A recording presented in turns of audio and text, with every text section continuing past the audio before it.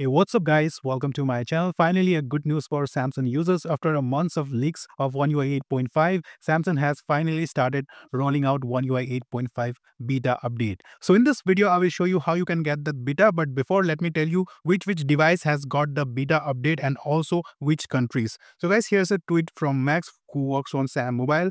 So if you are in US, UK, Germany, Poland, India or Korea, you can update One UI 8.5 beta on your Samsung Galaxy S25, S25 Plus and S25 Ultra. These are the three devices which currently got the One UI 8.5 beta. Alright. And update size is around 4 GB as you can see a screenshot shared by a Korean user who got the One UI 8.5 beta.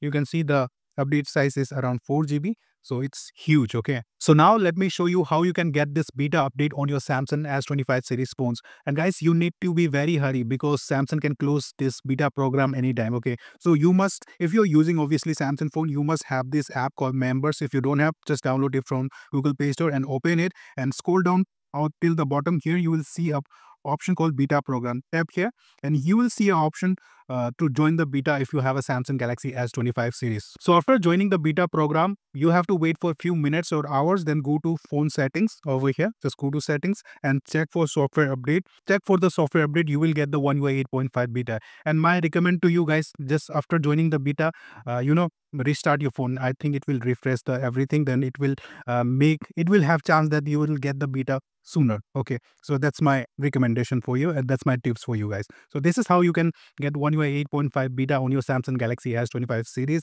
So if you have a Samsung phone, do subscribe to my channel because I upload latest news and obviously I will be giving you latest news related One UI 8.5 update and Samsung. Have a great day. Meet you in my next video.